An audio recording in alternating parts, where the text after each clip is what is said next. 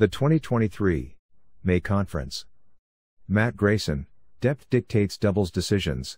This session was held classroom due to rain. That, hey, we looped the ball back deep and we charged the net and bellied up to the net when she lobbed us. Know, we almost forced the lob to happen and we put ourselves out of position when the lob came, so now we're in a bad place.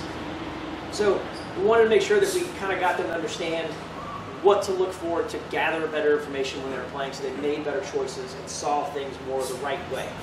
Um, so there's a, a marketing principle out there that says, hey, by the time you tell somebody something seven times, they start to recognize that you're trying to tell them something. They don't know what it is, but you're trying to tell them that something's coming. Okay?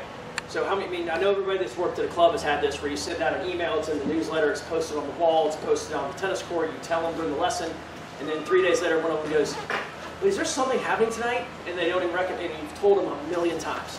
So the same thing kind of happens when we started. We started taking that principle towards our lessons too. Is we really slowed down the process of how fast we progressed in the lessons. Like made them do each individual thing a lot longer, and even sometimes for multiple weeks. Instead of saying, "Hey, this week's going to be approach first volley. This week's you know work on the serve. This week's our cross court return. Whatever." It was really trying to stay within this one framework for a season and make them stick to that, and that's really kind of kind of changed what we've seen. Um, the, we think it's working because the success rate we've had is we have in the last three out the season we've had seven city champions.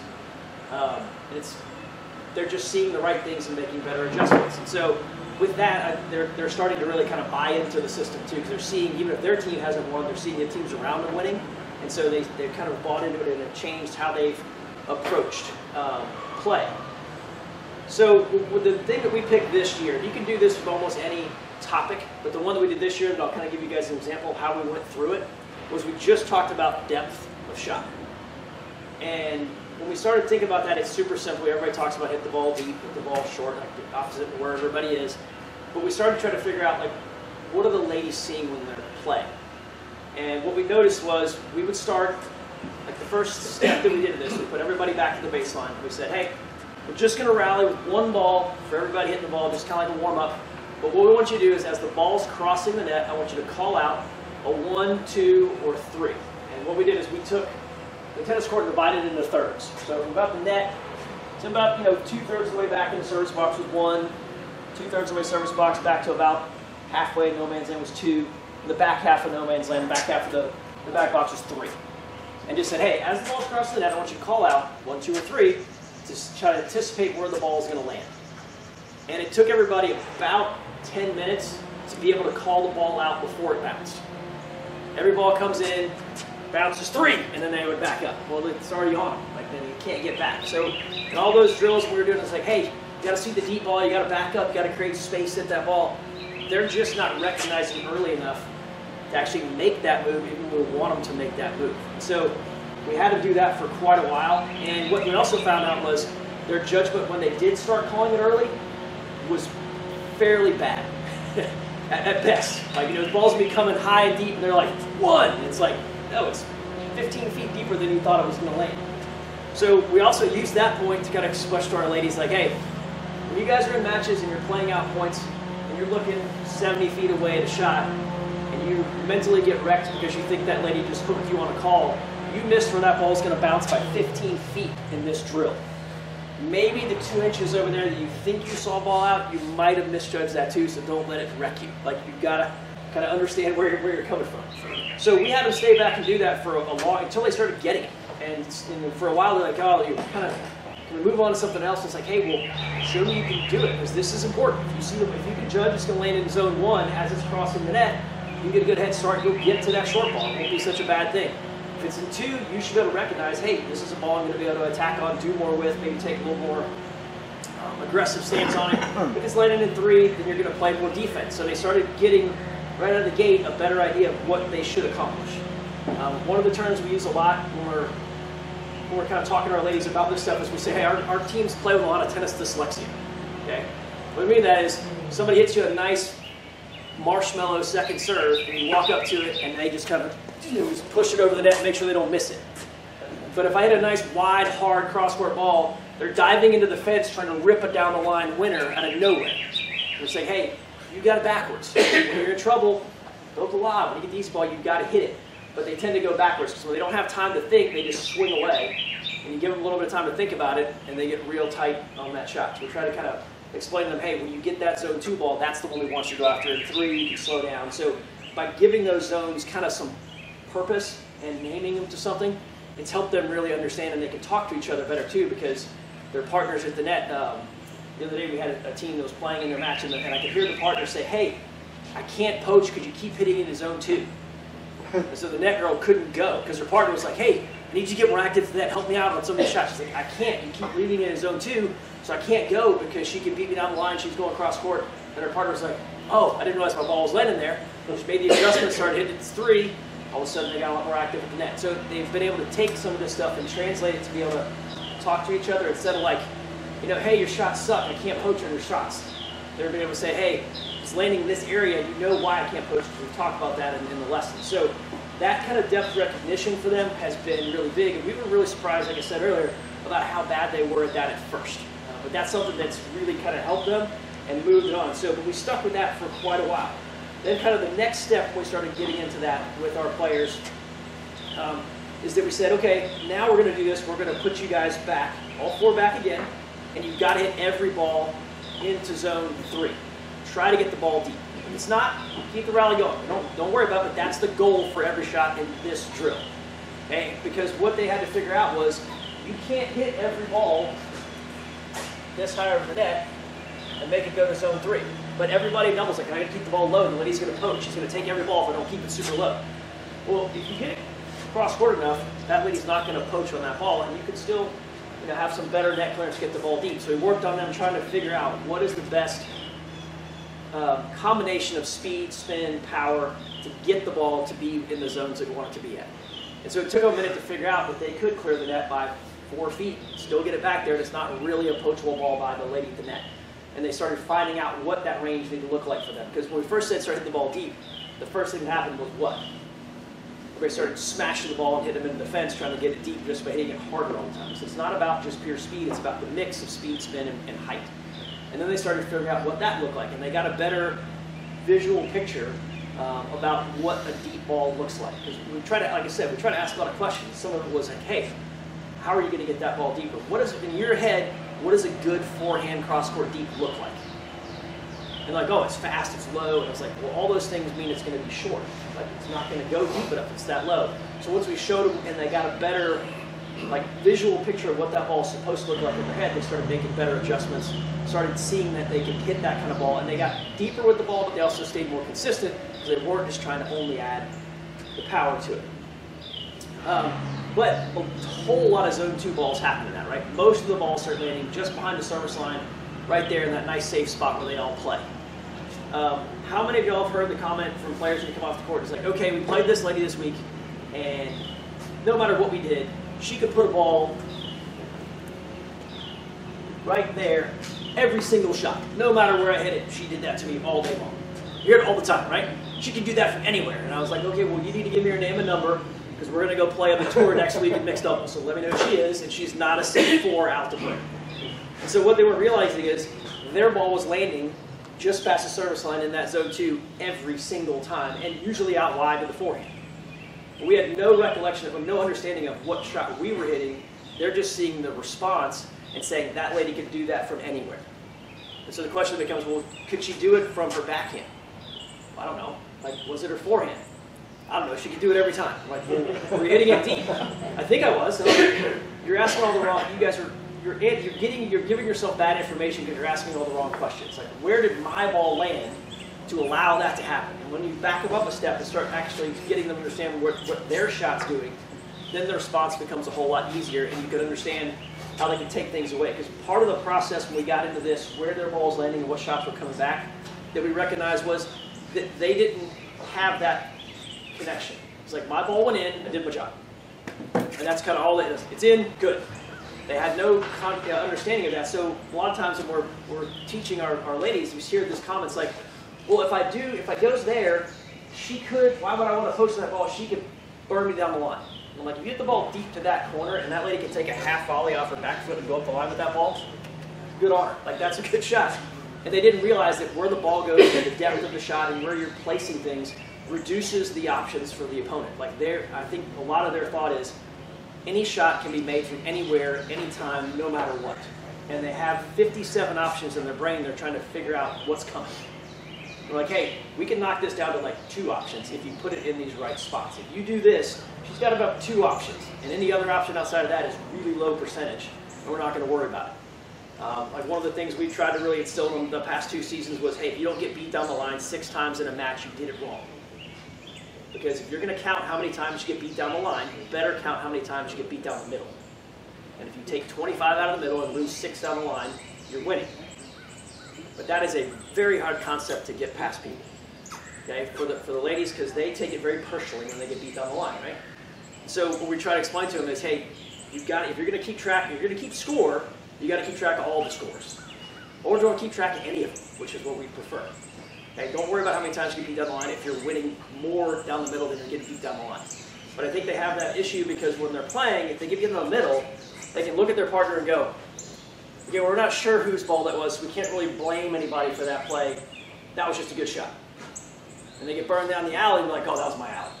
And they take all the blame for the shot. So just little things like that about how they've been thinking and what they're seeing has you know, kind of helped us be able to kind of back it up a step and make them kind of change the thought process. But changing anybody's thought process takes time. And so in all these steps we're talking about, we did at least one week of Alta Clinic per step. That was the focus for that entire lesson plan. And then we went to the next one. Um, so as we got to the next one, we said, okay, we've got the ball going deep. We understand what a good deep ball looks like. We understand what we're trying to do with that ball.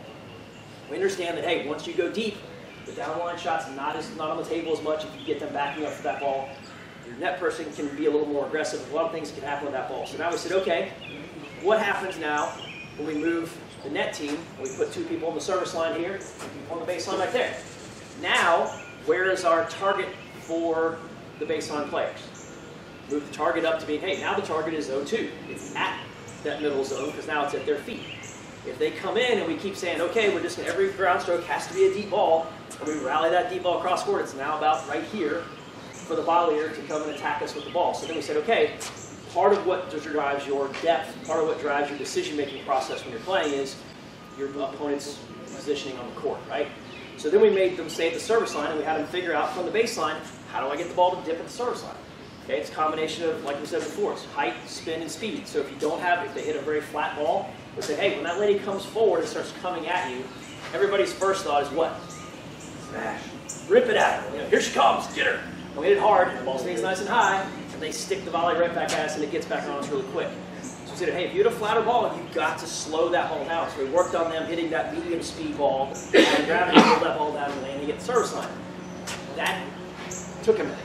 Okay? That's, that's hard to do when you see somebody coming at you, not to panic and make that easier ball. You got higher level players, spin the ball more, just work on the angle attack of the ball, have a little more dip, a little more drop, getting it there.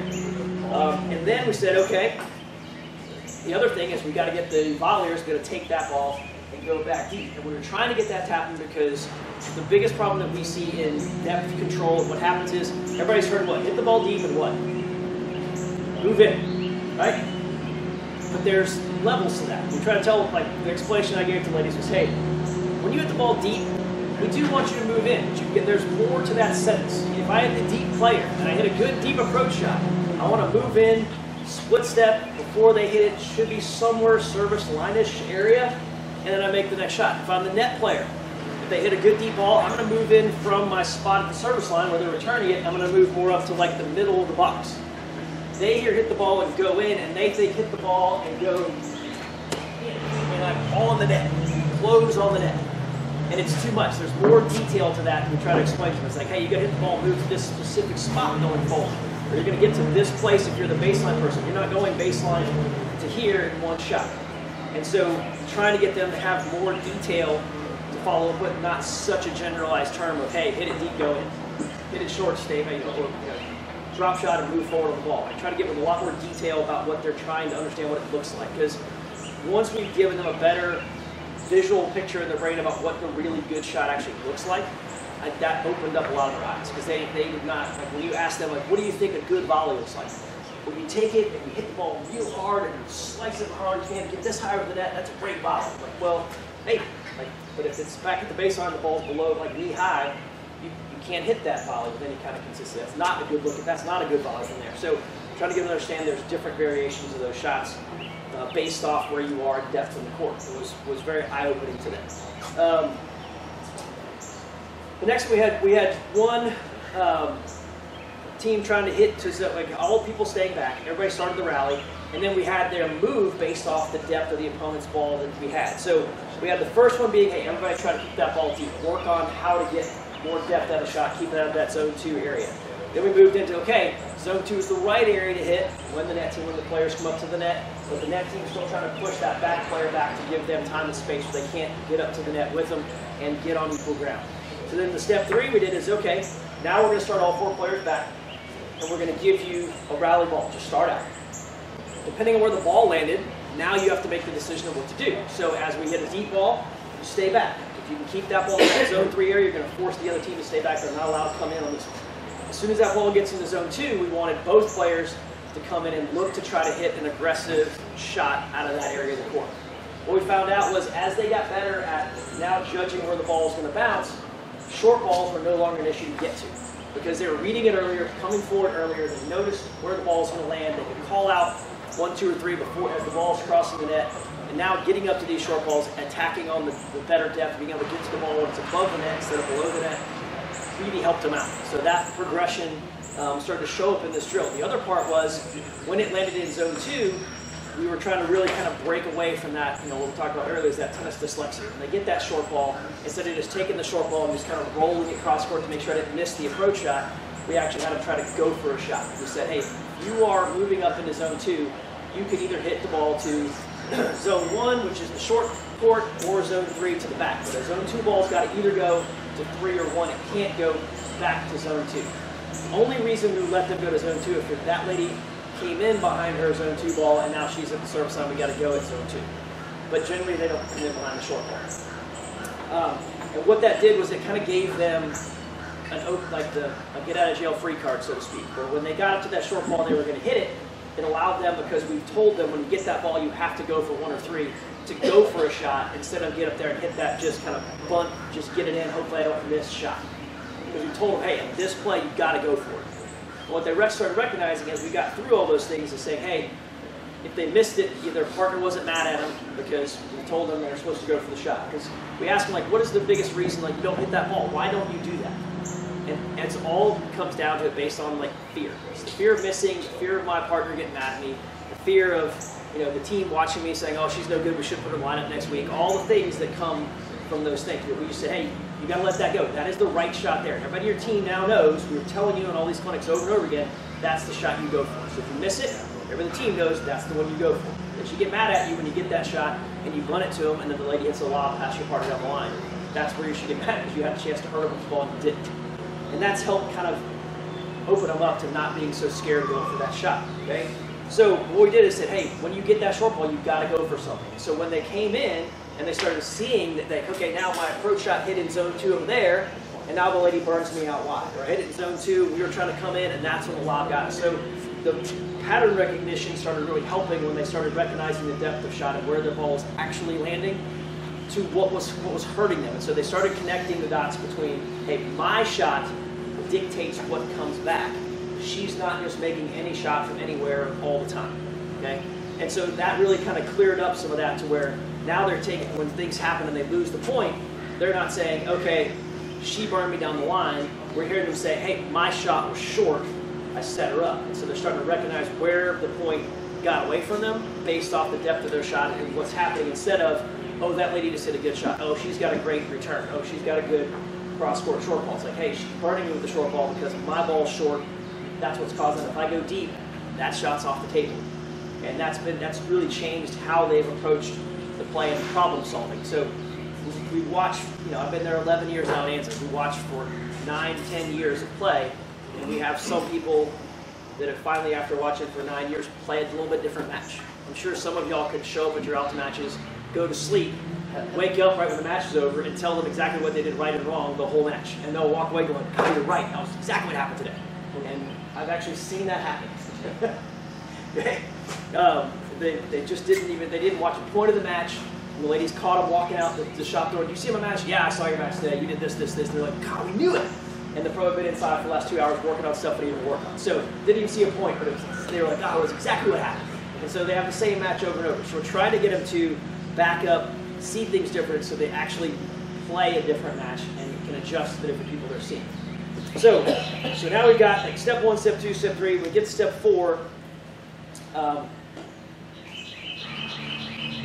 we're trying to get that earlier recognition like that for the, for the zone two ball to come in. And then the biggest part of that when we start coming forward based off that is the not panicking at the baseline. When you see that person come in, getting them to actually calm down, to put that ball in zone two and not try to overhit that ball, that's generally the hardest piece of that. So we work a lot on having, you know, feed a deep ball, have the team come in behind it, and then try to work on that easier pace ball and trust that gravity can make that ball drop. We spent quite some time doing that in the lessons to get that kind of skill in there. But again, this is that marketing principle we talked about. We stuck to it and made them stick with it and made them do it over and over again to where they got it instead of just, hey, we're going to work in the shop for 10 minutes, hopefully you get it. Next week we're moving on something else. Maybe two years from now we'll go back to the shop. Like we really tried to hammer it for many, many weeks in a row, and it started to pay off because it started to do that. Um, now, when we get the net players up to the net and we start working on this more one-on-one back, um, we said, hey, as a net player, as long as you're hitting back towards, if you don't have a put away type ball, okay, you're going, you get a ball that comes to you, you don't feel like you can put that ball away, their targets have to be one and three, like zone one and zone three when you're up here at the net. Because you either got to push the lady back with your volley try to get her backwards, get her on her back foot, put her on defense. And if you do that, we don't want you to crash the net. We want you to move to the middle because you're kind of forcing the lob out of that lady if you push her on her heels. If you can go to zone one and dump the ball shorter up here, add a little touch on the volley, now you can close it a little tighter because that lady's struggling to get to the short ball and get in there. And that's exactly the opposite of what we see all the time, right? Hmm. You hit the short ball, and because that lady's running at you, your first instinct is back up. Okay, but she's not running at you. She's running at you. Her rack's down, she's struggling, and so we try to get them to close in behind that even when the other lady's coming forward, because that is a very unnatural thing for them to look for. They see somebody running at them, and their first thing is take a couple steps back. Okay, so we try to get them to kind of get out of that backwards um, thought process with that. Now, if we're volleying and that lady's trying to serve a volley or tries to come in behind the ball and she hits it at me, now we do want to go back at that zone two ball to get the ball on her feet instead of trying to go short where she can already keep coming in or go deep where it's now above her waist which comes to take that. So by keeping up with those three zones on all the different shots and what's happening in the play, it's really helped the ladies diagnose what's happening much quicker, much better, and coming up with a lot better information to make adjustments while they play. Um, some of the things we've worked on, you can kind of throw in there. We, we come up a lot of terms when we play at, at Ansley just to kind of make them remember things. So what we call it, like as they get better at these zones, we've taken the zones from being kind of straight lines. Like if you look at the court over here, they have the, the 10U lines, like that line. We take it and we angle it. And so, Wonder if you can see it. Um, as you kind of do, we angle them off. So we have an angle that goes from about right here to the middle T. And then we do another one up here that goes from somewhere here right to the net strap. So as they get better with that control, we shorten up the areas and call have little triangles, which that's the zone three triangle, that's the zone uh, one triangle, and then all that middle area is zone two that we're trying to avoid and stay out of. So when we were doing it one day, uh, one of the guys used to work there said, hey, it looks like a slice of pizza, so we're going to yell pizza. So every time the ladies hit in that back corner, they're like, pizza! And they knew they were supposed to go, and that was a good deep ball that could get in there. And so just by having a little thing like that, they remembered it, giving it a name, and they would do it. And even the ladies that were watching the matches, as they would start watching the matches, ball lays in the corner, and somebody would go put the ball away at the net because they saw the deep ball, they crossed on it, put it away. Everybody that was watching the match was like, nice pizza shot. The ladies probably thought they were insane, but, but they all knew what they were talking about, right? So we, we hit that ball to that deep corner, or we go to the short pizza for, for number for zone one if you get that short ball. So we short we make the zones get smaller as they get better at it, and we increase that zone two area to try to keep it out of there and get to avoid that middle section. Okay. Um, so when you do have the good deep and the good short ball, the, the net job is pretty easy, right? You move up, try to be much more aggressive towards the center of the court because you put the other team on defense. When the ball lands in that big zone two area, the different things that we've said there is, hey, now your job as a net player is to follow the ball. Stay in front of the ball. Where the ball bounces, get in front of the ball. So if they do go to zone two down the middle, yeah, the net person can move over here a little bit. If it goes wide in zone two, we have the net person kind of stay a little more conservative.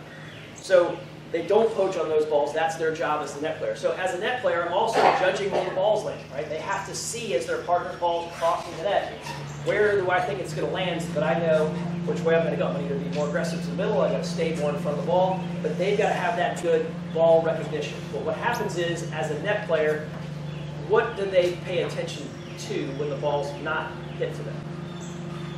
When their partner's hitting the ball. They're looking back at their partner hit the ball, they watch the ball fly across the net, and then they watch just to see that it's in.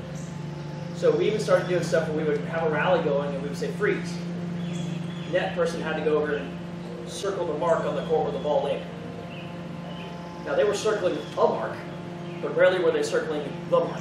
They were not close to where that ball landed because they were so worried as their partner shot going in, they didn't recognize actually where the depth of that stuff was. and as a as a pro, like that baffled us for a while we're like, man, how did you not see where that ball landed? I think all of us have played for so long, worked on those things for so long that we don't recognize that ladies who started playing tennis when they're 35, 40 years old, whatever, that are 3-5, 3-0, 4-0 type players, most of them grow up playing this game. So a lot of the things that I think we all take for granted as pros, that we say just as like, this is how this should work, just do this. That information, that the base for that to, information to make sense to them is just not there. So when we've broken it down really, really basic and built it kind of back up this way, we're starting to finally see them really get it and, and take it to heart, and it's made a big difference in how the lesson program has worked. Um, another one that we said is, okay, we, we've described this area of the court. So if you take the service box and draw a big plus mark in the middle, a big addition sign, right? From here to here, this corner of the service box, the outside back corner of the service box, we kind of deem those as like the box of death. Stay on the box of death. Don't be there. So if the ball goes back to your partner and you're up here, you can fall back to the middle. Ball goes up, you can go here and here, but don't go to that corner right? And everybody, as soon as the ball starts happening, that net lady starts backing up and backing away and working the way to that side, especially when the ball goes to this person. They're trying to get away. And we're trying to really make them hold in the middle to prevent that angle between the baseliner and the net person to get smaller, take that away. So we really, we like, we have play courts at our club, which helps. We draw a lot on the ground. So we take like a, a line marker and draw off that box and put a giant X in the box, like that stay out of it. And every time when we get done with the point, they go, hey, look where you're standing. They look down, like, oh, we're in the box of death. Like they can see it on the court. And so that's really helped them also stay in the point and get in better position and allows them from where they are. Because when they're starting in that position there, if we do want them to poach, because they're, they see a ball three, they see a ball go to zone three, and that person's supposed to make a poach move. If they're starting kind of in that back corner, they have no shot of getting up and getting to this ball. But it's just because they've drifted over, not aware of where it is. Um, you know, what, a lot of things that we're doing kind of based with that, even with just the rally balls, we, kind of call out that freeze thing again, say, hey, where are you standing? And they look down and it's like, cool, I'm a foot inside the baseline. I said, do you have any idea you're standing inside the court? No, I thought I was outside the baseline. And so it's little things like that that, I, that we're taking for granted, like, hey, you keep walking inside the court. And they're like, no, I'm not. And they look down and they're like, okay, I'm inside the court. So we have to make sure that we, you know, kind of give them a little bit more fundamental basics to understand so that when we start saying all the basic things that we think are just automatic tennis things, um, that they get them. Okay. Um, when we go to uh, when we play a lobber, this one always comes up. Okay. She lobbed us to death. We can't do anything. All they do is lobs. Okay. So how do, how do we how do we make sure that we disarm the lobber? Okay. Every single ball that they give us, we're trying to go as close to zone two and zone one as we can. Don't go deep. And they're like, well, we kept, you know, shooting lobbers, we try to hit the ball deep and come in. Like, so if you get the ball deep and come in, what are you susceptible to? A lob. You well, well, yeah. And I say, so you're getting lobbed to death, but you're playing a way that's forcing her to lob, and you're moving in and putting yourself out of position for the lob. And they're like, well, yeah. like, well, we probably don't need to set them up for the lob, so let's try to go a lot, a lot of short balls. And so they start pulling them forward, they start seeing the lobs, trajectory those lobs get a lot steeper, they come down a lot shorter, so they can cover the lobs and everything works a whole lot better. But I think they've always been told, like, hey, hit the ball deep and come in, hit the ball deep and come in. It's that same thing. It's too that's too basic of a phrase. It's like, hey, if you're playing against somebody that likes to hit the ball hard and wants to try to come in, hit the ball deep and come in and keep them from coming in. If you have a lady that plays 14 feet behind the baseline and just stands on her back foot, lobs 400 times a match, you've got to hit them. You've got to be able to go short. So when we started working on that concept, the big thing we had to do there was we spent, I don't know what, John, 15, 20 minutes a week where we pet, put a person in that corner and a person in that corner of the service box, and they just had to chip the ball across court. Yeah. And then we'd make them switch and shift the ball the other way. And it's much more difficult for most of the players to hit the ball soft than hit the ball fast. The ball comes and the racket just gets quick. And so they can't go soft. So To actually make them feel how slow the racket had to move to go to that short one ball, that took quite a while. We spent uh, like three or four weeks with that being part of the warm up. For like 15 minutes of the warm up was just that. Taking that ball, hitting it soft, taking it short, going across court. So then everybody knows how to chip the ball, slice the ball, put the ball short when they need it. And that was a that was a game changer for a lot of our teams, especially the, the players that um, that like to be more aggressive, that do hit the ball harder, to be able to back that hard shot up with the soft ball when they came in there. And I mean, to all, like I said, to everybody standing here, you're like, well, that's stupid basic. Hit the ball deep when you back up, the short you're not there. But that's something they don't see. You know, they, I think when they're, when we're talking about visually looking at the court, a lot of things we try to do is say, hey, imagine being above this court and looking down. You've got a person that's back, a person that's up, a person that's up, a person that's back, and you're looking down. Where are the openings on the court? And they can sit there and go, oh, yeah, the opening is here because that lady's back, the opening's there because that lady's back. Like, so that's the short part of the court. When they're looking out, all they see is there's somebody in my way this way, there's somebody in my way this way. There's no openings. But they're not seeing three-dimensionally, hey, the opening is behind that lady, the opening is in front of this lady, and they're not seeing that. They just see that there's somebody here and somebody here. I just gonna hit the ball there's nowhere to go to try to hurt them right now. And it's, basic things like that that they're just having that bad information they're giving themselves. So that was a, a big one for us, and we spent a lot of time doing that so they could actually slow the ball down.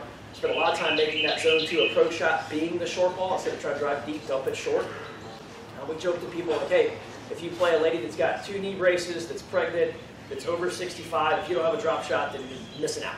Like you should do it all day long until they call you bad names. Okay, just keep doing it because that's that's what should happen. That's what the opening is going to be. Um, and then we started putting this together. Okay, at, at, the last step to kind of make this more of a, team concept because what we were trying to explain to everybody was, hey, these patterns are going to be there, and we want to make sure we understand what this is because when y'all are playing, we've got to play more as a team. I said, you know, if, you, you're watching a football game on TV, when they huddle up, they don't get in the huddle and go, everybody go do what you want, break. Okay, but we play in tennis, and then what happens? Hey, um, you know, John, what are you going to try to do on this point? I'm just going to try to get it in. Okay, that's not a plan. The object, you know, hit it out. Like nobody's trying to hit it out. So hitting it in is not a plan. What are you going to do with the play? You're going to try to hit it to a certain spot. Uh, we've had the comments come back like, hey, this lady's return was unbelievable. She could kill every ball. Her return was outstanding. Well, what return was? What do you mean? It's like, was her forehand good? Was her backhand good? Was serving to the body? She return that one well? Did she return a hard serve better, a soft serve better? I don't know. And I was like, well, I watched your match and 99% of your serves went wheelhouse to her forehand. So her forehand looked really good. But you didn't move her right or left. You didn't even know. She, you don't even know if she has backhand. You didn't see one for the entire match because all you were trying to do was get your serve in. You weren't trying to place it and move it around. So we try to make this be more a team play where every point they have to get as a team and say, hey, I'm returning this ball, and I tell my partner, hey, I'm going to do a 3-1. Okay, I'm going to try to go 3-1 on this play. So as soon as the ball comes to me to serve, I'm trying to return it back to 3. I'm looking for zone 2 where I'm going to dump it in zone 1. That's my play. I'm going to run a 31. Okay, so now my net partner knows, hey, if I gets that ball in zone 2, he, or he's going to try to dump it in zone 1, so I get to move in and be real aggressive on the next ball. I'm looking for that ball so I'm already ahead of the game. I can anticipate what's about to happen because I know what my partner's trying to do on this point. Now, it doesn't mean I do it right every time. My ball might go to zone 2, so then I have to kind of wait to get a zone 3 ball. But my partner knows what I'm trying to do. On second serves, we try to flip it and say, hey, run a lot of 13s on second serves. You get a second serve, chip that ball, use that nice soft return, real short, pull her in, and then once she comes in, then you can smash the ball past her to zone two or zone three and put the ball away. So you're going to run 13. Okay, and that gave them like this idea of like, we can play more together. My shot affects my net partner more. I can't just tell my partner like, hey, you know, we lost today because you know Rob just doesn't poach. Just just go. He just stands over there, and I'm like, well, if you hit every ball to zone two up there, then you're right. Rob's kind of got to hang out over there. He can't go. So they've started to put those pieces together based off having a more of a team dynamic plan. Okay, not just hey, I'm going to try to put my ball in, see what you can do. Um, and that kind of opened up their eyes to having more control because that fear part we talked about comes when they don't, when they feel like they don't have control of what's happening. The fear comes from, hey, her forehand was so good I didn't know what to do. But you can take that fear away by saying, hey, we're just not going to give her a forehand, we're going to make her a backhand returns, and now her backhand return is just marginal, now I'm not scared of her return.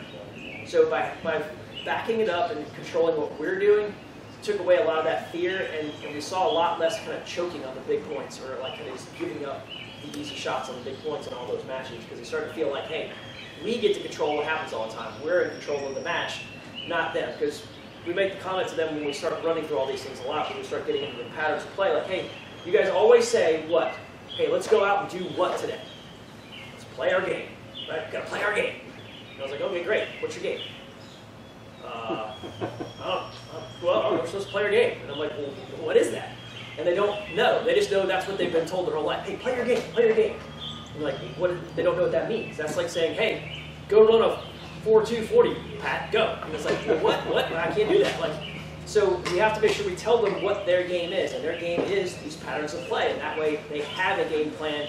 They're controlling what's happening, it's all based off these easy depth numbers. Now, like I said, there's a million ways to learn all these things.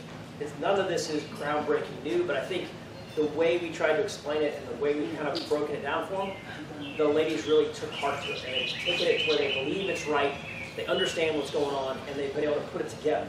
Um, Matt, how Yes. long was the process to go through this transformation? So we did, this was our, this lesson plan I kind of walked through to you guys was what we did for an Alta season. So this was like 10 weeks of lessons. Okay.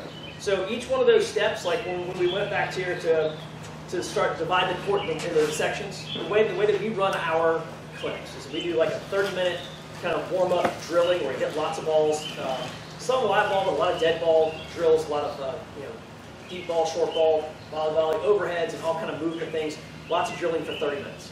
And then we say, okay, now the middle 30 is kind of the meat of our lessons. And that middle 30, week one, all we did was divide that court into those three sections, have the ladies rally as the ball's coming across the net, calling out what depth that it was. And we rotated them around, they were different people.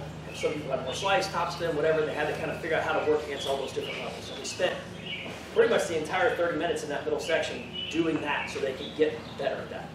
And then the last 30 minutes, what we did is said, okay, we're going to play out a point, and if you can hit the ball into zone three and then come up with a winner on the next shot, you got like three points in the game. We play games of 10, but it was still based off just that one thing that week. And if you felt like they kind of really started to get that, then next week we moved to the next section, which was, hey, now we're going to start everybody rallying, and if you don't hit the ball into zone zone three, the rally keeps going. If you don't hit it zone three, the rally keeps going. But every time your ball lands short of zone three, the other team gets a point. It's like the first one with 30 wins, right?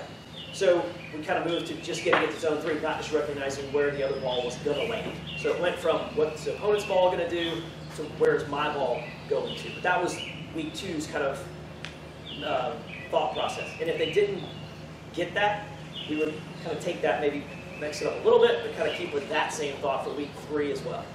Once we felt like they got it, then we move to the next one. So it, it took kind of eight weeks to get through this process just on the depth. Um, we did more the season before in a process similar to this, um, just off really like watching the ball.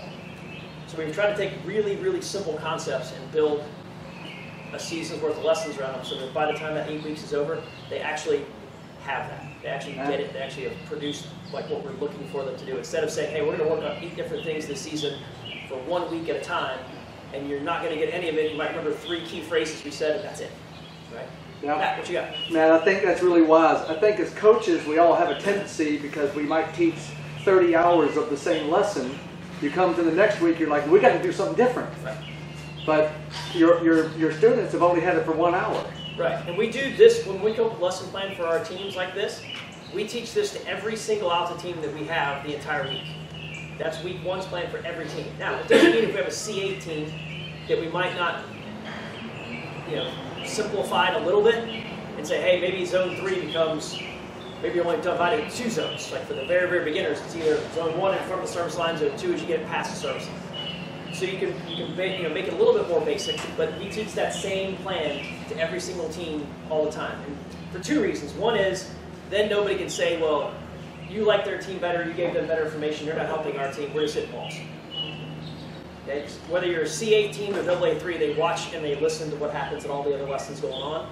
And if you give them all the same lesson, nobody can say that they don't have the same information. The other part is when you have people that do move up and change teams, as they start moving up and changing teams, they still all have the same information.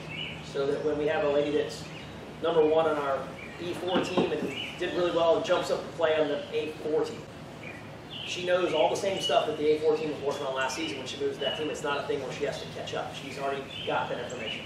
So, yeah, we stick with that. And so um, by the time the week is over, I think we can give the lesson with our eyes closed, so to speak, because we, we've said the same thing a hundred times. But we're seeing the, the, the players really kind of latch onto it and understand it and come back. And we get all the, all the comments are, you wouldn't believe it. We went out there and we ran the 3-1 and it worked. I'm like, we're not lying to you. This is, the, this is how you do it. But they're shocked when it does work, right? And they get excited because they, understand, they can see what's happening, understand what it is, and they feel like they're getting to take control a lot. Um, which, like I said, that's I think our biggest take from all this when we're seeing all these things happen is that they feel like they control the match, and when they lose, we're not hearing like, oh, that lady was so good, there's nothing we could do. They come off the court, man, we just could not get the ball to zone two. Everything we hit today went in zone two. We just were not finishing our shots. We weren't getting the ball high enough. Everything was zone two, and that's why we lost. But then they take that away, like, hey, so what are you going to do next time? We're going to keep it on zone two. We're going to fix that. And then again, they feel like they have control of that match. They're not so crushed or you know feel like they had no idea what to do today. They, they understand what can happen even if they didn't accomplish it that week. And that's gone a long way to them kind of keeping their confidence throughout the season, even if they have a bad week and they lose, they understand why they lost and what immediately is the, the fix they can do better next time. Um, so the other thing that we've done to kind of, once we get to the very end of this and we've gotten kind of the end of the season, we ran a five ball drill and made the first shot non-negotiable. Okay, so we started them out and said, hey, we're going to play out five balls in a row before we kind of reset and we made it non-negotiable. So we said, hey, we're going to start out the first ball. We're going to feed it deep. We're going to make it a rally. So we're going to go to zone three. You've got to hit, try to go zone three back, right? And then we said, okay, as soon as that point, we're going to play out that point from there. That's the only thing is that first ball has to be that deep rally ball to zone three. The second time, we're going to take a real deep ball, push you back. You've got to go back, let the ball bounce, back up, play it as an offensive ball. So we want you to really add height to this ball, add some shape, get the ball to go back deep. You can lob over that push set if you want, but you've got to play a defensive shot on the first ball, and if you get that ball into zone three, then you get to move up and try to get at least back to neutral, if not take over the point from there. Ball four, ball three was we fed the ball to the net player, made them take that ball back to zone three and start it. Ball five, ball four was an out wide ball. We said, hey, if you get a zone two ball out wide. We want you to go back wide with that shot there, right? So we said, hey, short wide ball, short wide return. And then the last one was we fed that same real deep defensive ball back to the baseline player, and they took that ball in the air, and they could take that ball and come in. So the idea of that was we ran that drill over and over and over and over again for a day. And what we tried to make them understand was, hey, we're trying to reduce the amount of thought you guys have when the ball comes. Okay, because when that deep ball comes, you can almost see the smoke come out of people's ears. They're thinking about so many different options of what they want to do with that ball when they have time to think about it. We said, okay, if it's really deep and you don't come take it out of the air, your shot is that deep zone three ball. That's your only option. When you are playing in your match, hit that shot. Okay? If you are getting a wide short ball, look for the angle ball back. Don't try to hit it super deep because you're off the court and the middle opens up. So try to angle it off back if you can. You know, and we said uh, you know, that way that's a one shot thing. Get out there, try for that ball. You don't think too much. Okay, when you get that, if you can come take the ball in the air a lot, you recognize the lob's coming, you can move up and take that ball in the air, take it in the air and move in. But again, take it out of the air, try to take it away from you, push the ball back deep to zone three if you can, because you're too deep to try to make a short ball out of that shot. Take that ball back to zone three, come up and stop early in case they lob that. Okay, so but those, those ideas there, we ran them over and over again to, again, take away some of the options so that they didn't overthink every shot. They weren't trying to make all these zone, the, the, the smoke just start coming out of their ears because they're trying to think about so many options they could do off every single ball. Because lots of them just aren't available. And so this way we gave them a high percentage play to at least start every point and not have to overthink that, at least put them in a good position to begin with. And, and that tend to really help. So by the time we put the, the 31 play together, the 13 play together, and then we had that five ball drill we made them understand, hey, on this first ball, there's one option for each of these five shots we want you to start with. Um, it really made the percentage of how they played, the high percentage points played much better. Um, they worked better together as a team. They were talking more at the net. They were kind of gelling a lot more as a team instead of just two people out there trying to hit balls and put balls in play. Um, like I said, we did this for the entire season, um, and it's so we've had lots of success. We had two teams last week that were in the city finals. and We'll find out Wednesday if one of them won. So so far, it's, it's been it's been working. Um, so when you guys are, are, are, kind of trying to implement this, like I said, it can be done with anything. We've done it with more than just depth. Depth is just the one we did this season, so we kind of walked you through that. But think about a really basic concept. You know, the things that you say the most to all the people that you're teaching. Like, how many times a day do you say, "Watch the ball"? So we started saying, okay, watch the ball disappear. So when the ball's coming at you, you know, keep your head down. You have to hit it, and the ball has to disappear before you can look up to see the next shot. When you say watch the ball, it comes in, and they try to watch the ball go out to, and their head moves, they don't see the ball. So it's little things like that that we started trying to say, hey, what do we say the most? How can we break that down to be something like stupid simple, and then just kind of build it from there throughout the season to where after eight, ten weeks of Alta, it becomes a lot more of an automatic process of how they play, what they do. So it doesn't just have to be the depth. This is just, like I said, the one we did this season, so it was kind of easy to walk through and explain. But we've done it now with a couple different things. But I think that that process, the ladies have liked it because it gave them enough time to figure it out, put it into play, see that it works. And because the whole team's getting into it, even when they come off the court, their their team can tell them, hey, you guys did a good job going at zone three. Every time we went zone three, you poached today. That was really good. Or, hey, that lady had that great drop shot, but it was only when you hit the ball to zone two. Like they're seeing it when they're watching as well. So when they go to play their matches, they're more aware of it too because they're noticing it. It's not just, you know, oh, good try, you guys played well. They can actually talk to each other about what happened and they're coming up with better solutions. Um, so with that, is there any questions, doubts?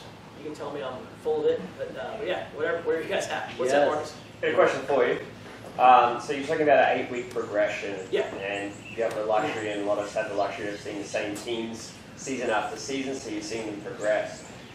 What, how do you balance that progression if you're doing the same thing all season with, well, I've got three teams I'm on this week, I've got three matches this week, and I'm going to see the success only at the end of the season when we're not even in playoffs. How do you balance that out between I've got a match this weekend, I've got a match next weekend, like when am I going to see the fruits of my labor here? Is that only until after the season? And maybe you don't have that team. There's a lot of people who, who just have that team for a season and then they see Sure. a different team. So how do you balance that out between instant success and see the forest, not Yeah. just the trees? So the instant success really started in that first week when they started being able to hit the ball deeper and recognize where the ball was landing. It immediately their movement got better because when they noticed as the ball's crossing the net, I think that ball's going to be in zone three. Immediately they were backing up and getting back and giving themselves space at that ball. Where at the beginning of that first day, ball was coming in, they're like three, and it's like yeah, you're right, but now it's almost hit you in the foot. Like you called it too late, you recognized it too late. And so they started really seeing some level of success with this, like right out of the gate. Um, yeah, three or four weeks into the season, they got much better at all this, and they started putting it to play and, and having to be able to um, implement it a lot better in patterns of play. But we saw immediately them get better at just ball spacing, recognizing the short ball, seeing it come over the net. Oh, low net, low ball means go. It's going to be a short ball. And so they were getting some of the softer balls. They were getting to the shorter balls. They were not having trouble hitting soft second serves. They're looking for that ball to be a little higher, you know, to get up to it quicker and not let it drop so low. So some of that we saw immediately. I mean, yes, there's a little bit more of a long-term thing for some of the big pieces of the puzzle, but immediately they did do better right out of the gate just by knowing, like seeing where, knowing where the ball was going to land and having a better picture of, like we said, what a real good shot looks like. Like when I hit a, first we hit that kind of loopy ball back to him, they're like, oh, that's like a lob. I'm like, that's not a lob. That ball cleared the net this high and just had some topspin and landed back near the baseline. Like that's a that's a good deep ball. And they, they in their head that was not what a good forehand looked like. And so when we were talking about, you know, they hit a good what they think is a good forehand, and it's this high over the net.